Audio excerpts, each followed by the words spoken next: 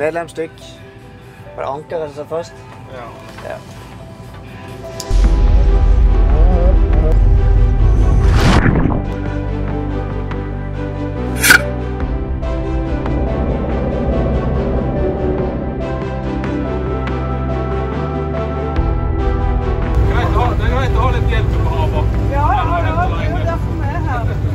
Jeg syns det er spennende å følge fisket og ja, være med og, og, og bidra da, som en støttende instans for de som er på sjøen.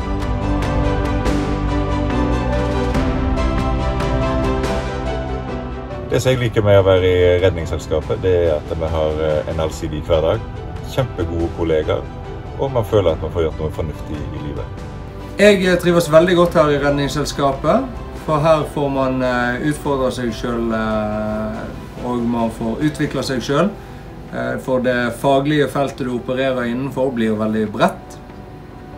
Og ingen operasjoner er like. Eh, Så det handler hele tida om å løse hver aksjon på best mulig måte. Og da er man avhengig av godt teamwork. Det jeg liker med denne jobben, er å få nye utfordringer og aldri vite hva dagen vil bringe. Typisk hverdag for oss består i å være best mulig forberedt for eh, at vi skal få et oppdrag.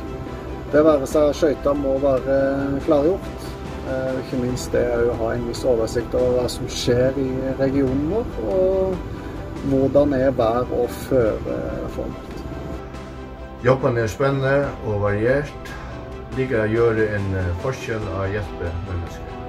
Vi kan ligge på sofaen i det ene øyeblikket, og det neste øyeblikket så er vi på full fart ned. På en utrykning. Og jeg bytta ut offshore for det her, og jeg er veldig fornøyd med det.